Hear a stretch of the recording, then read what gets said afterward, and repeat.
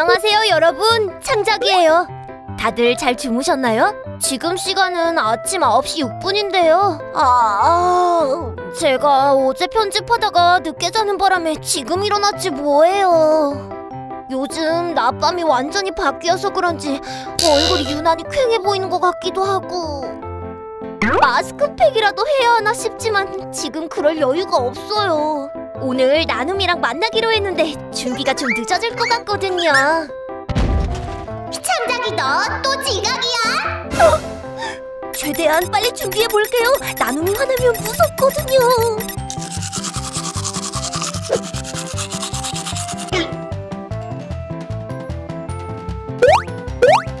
음, 이 정도면 나쁘지 않아.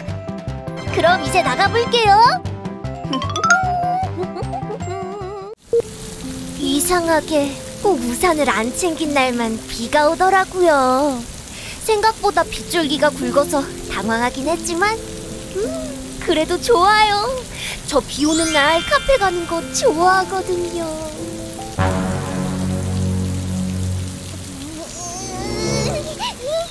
청작이 너 빨리 안 와? 너 기다리느라 비다 맞고 있잖아. 아, 저기 제 친구 나눔이가 보이네요. 오늘은 제 친구 나눔이랑 카페에 갈 거예요. 내가 빨리 오라고 했지. 미안, 미안, 미안. 으쌰. 잘 찍히고 있나?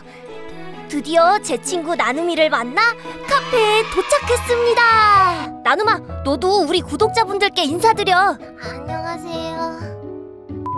오늘도 브이로그 찍는 거야? 응, 요즘 구독자 수도 많이 늘어나서 할만나. 어? 음, 지금 카페에서 찍는 영상은 못 쓰겠다. 왜? 무슨 문제라도 있어? 지금 매장 안에 노래 나오고 있잖아. 내 영상에 이 음악이 들어가면 저작권 문제에 걸리는 거 아니야? 창작이 너 아직 모르는구나?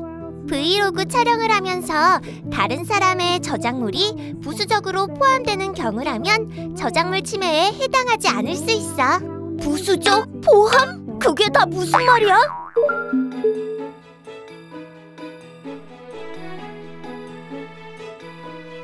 그렇기 때문에 너처럼 브이로그 촬영을 하다가 의도치 않게 음악이 살짝 들리는 거라면 저작권 침해에 해당하지 않을 수도 있다는 거지. 오, 정말? 그럼 내 맘대로? 저작 재산권자의 이익을 부당하게 해쳐서는 안 된다는 점 꼭 기억하면서 브이로그를 찍어야겠지?